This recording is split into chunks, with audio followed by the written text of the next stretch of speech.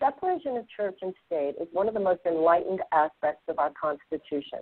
When we were children, we learned about how people had come over here in the early days to escape religious persecution. The separation of church and state has a dual function.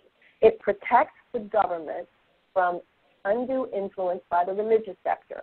You're not going to have a rabbi, priest, minister, mufti come into the, Congress, as in, let's say, like a country like Iran, and Right. say you can or cannot pass this or that law. That's not going to happen here because of the separation of church and state.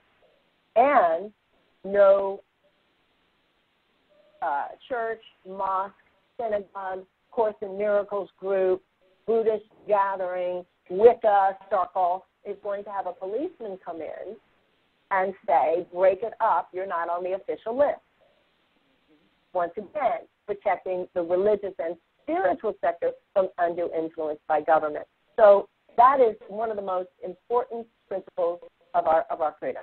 Having said that, spirituality has nothing to do with religious dogma or doctrine.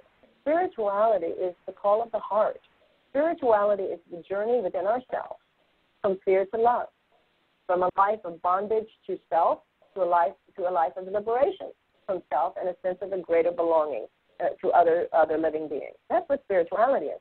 So the life that does not involve that conversation is a life that is not deeply human.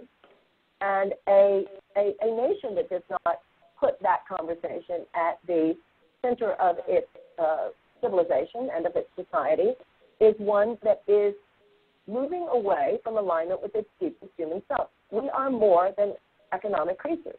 And yet our political conversation posits that we are a little more than economic creatures. And just as in our own individual lives, if all that matters is externals and, and, and not values, then you enter realms of chaos and you produce suffering for yourself and others.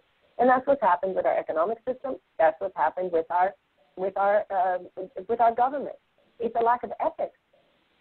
It's making money rather than humanitarian uh, values the bottom line. This is what got to shift. We we need a politics of conscience.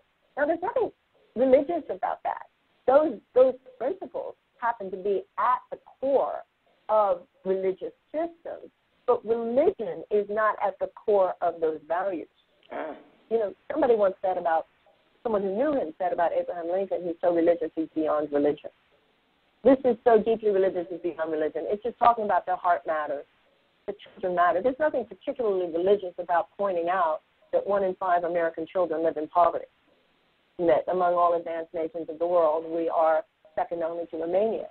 Now, to me, this is a moral issue. Economic injustice is a moral issue. Children living in poverty in the most powerful country in the world is a moral issue. Preemptive war is a moral issue. But there's no transgression about church and state here.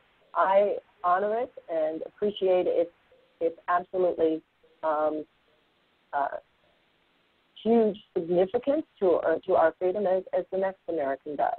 But the the founders were not meaning to suppress the spiritual conversation uh, with that principle. They were meaning they were meaning to liberate and, and protect it.